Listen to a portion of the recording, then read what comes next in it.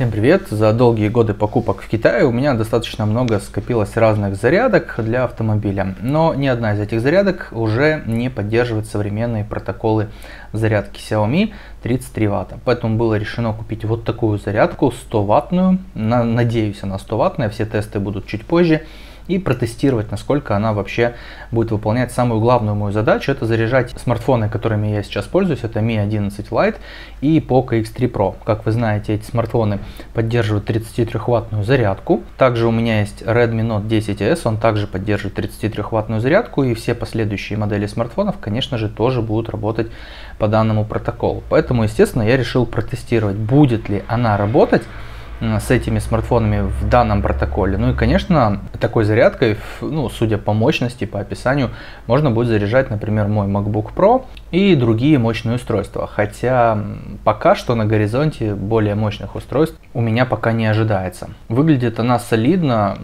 учитывая то, что мощности целых 100 Вт, ну, естественно, на USB-C порт она выдает, то для своей мощности как бы достаточно компактная. Выглядит минималистично, стильно. В комплекте идет хороший, качественный, длинный USB-C USB-C кабель.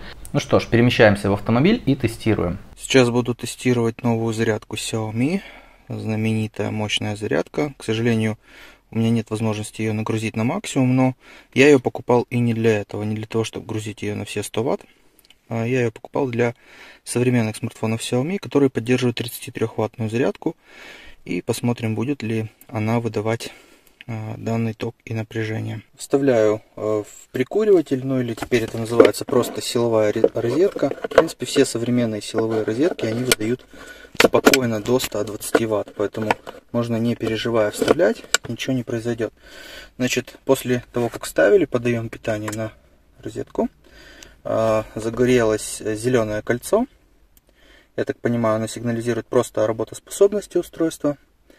Э, после этого я вот сейчас э, сюда подключил тестер, свой новый тестер, который я себе купил на Алиэкспрессе. Смартфон для теста буду использовать Redmi Note 10s. Это смартфон, который поддерживает 33 ватта зарядку. И кабель буду использовать Orico. Это вот такой вот хороший мощный кабель, который поддерживает хорошую передачу данных и большой э, ток заряда. Включаем. Пошла зарядка. Быстрая зарядка. Только быстрая зарядка. То есть никакой турбозарядки, Mi Turbo вот это, да, ее здесь нет, к сожалению. Так, соединяемся напрямую без тестера родным кабелем. Быстрая зарядка и Mi Turbo Charge работает. Вот ради этого я и брал. А, вопрос в чем? Вопрос в том, что тестер, как вы можете заметить, он не передает Mi Turbo Charge, к сожалению. Это очень-очень плохо. Поэтому я какие-то тесты этой зарядки, ну, в принципе, мог бы сделать но, как вы видите, тестер почему-то все подворовывает. Э, давайте попробую сейчас проверить, проблема ли в кабеле, хотя кабель очень хороший и дорогой. Я сейчас попробую подсоединить не родным кабелем, а вот этим вот кабелем Орико. Кстати, э, давайте посмотрим на то, какие расцветки есть. Я уже заметил, что поменялось, поменялся цвет на голубой. Давайте еще раз я вытаскиваю из сети, точнее из смартфона кабель. Вот зарядка поменяла цвет на такой бледно-белый, какой-то немного непонятный. И теперь я вставляю кабель. Ставил зеленый. Это быстрая зарядка. Голубой. Вот такой вот быстрая зарядка. А, да, он сразу переключается на Mi Turbo Charge. Так, проделываем все те же действия. Подключаем кабель Type-C. Так, пошла зарядка зеленый и превратился в голубой. Турбо зарядка. Видите? Турбо. То есть эта проблема не в кабеле. Кабель действительно высококачественный. Это проблема именно э, в тестере. К сожалению, вот этот тестер, он хоть и дорогой, хоть и крутой, там все дела, но он э, ворует быструю зарядку. Наверное, из-за того, что здесь, ну, просто он не понимает этот протокол, фирменный протокол Xiaomi.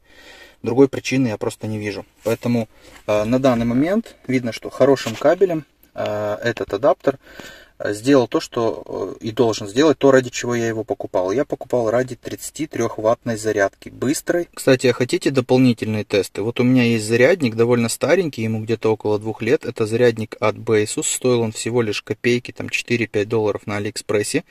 Они из двух видов, два USB и USB-A, USB-C. Значит, э, они также поддерживают очень много всяких протоколов зарядки, но были выпущены, когда Xiaomi еще не представила даже 27 Вт свою зарядку, вот эту фирменную первую быструю. Давайте проверим, сможет ли этот зарядник заряжать быстрой зарядкой. Может быть, вдруг каким-то чудом Xiaomi сможет подтянуть из него этот протокол. Значит, заряжать буду, конечно же, проверенным кабелем, то есть вот этим Oricom. Смотрим, что пишет смартфон.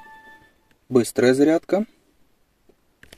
Да, к сожалению, только быстрая зарядка, так что турбо зарядки нет. Э, в принципе, это и ожидаемо, потому что этому заряднику э, от Basus ему уже ну, около трех лет. То есть тогда даже и в помине не было этих протоколов, был только Quick Charge 4.0 и Power Delivery, по-моему, 2.0. Э, в общем-то, все это он и поддерживает. И 4.0 Quick Charge, и Power Delivery 2.0. Но в любом случае, это очень хороший, мощный зарядник, который я крайне рекомендую. Себя он показал вот за все время эксплуатации. Никаких сбоев, все работает прекрасно. Ребята, хотите еще один тест? Я нашел э, тут у себя в машине кабель USB-C USB-C от компании ROG, который я тоже покупал на распродаже когда-то давно. Он поддерживал 60 ватт максимум, и это, в принципе, подкупило, потому что стоил он всего лишь пару долларов. Значит, этот кабель сейчас уже устарел, скажем так, э, по всем этим технологиям, да, быстрого заряда, э, ну, считайте, на 3 года, потому что он был выпущен 3 года назад. Но давайте проверим, будет ли он работать с вот этой Mi Turbo Charge. Значит, э, вот он подключен к Redmi Note 10s. Давайте проверим, потому что это очень интересный тест. Стоит ли покупать новые кабели для быстрых вот этих супер быстрых зарядок или достаточно старых?